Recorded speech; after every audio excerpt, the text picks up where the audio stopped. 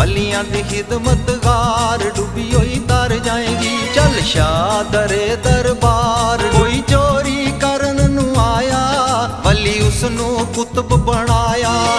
ਓ ਯਾਰਵੀਂ ਵਾਲੇ ਦਾ ਚਮਕਾਰ, ਡੁੱਬੀ ਹੋਈ ਤਰ ਜਾਏਗੀ।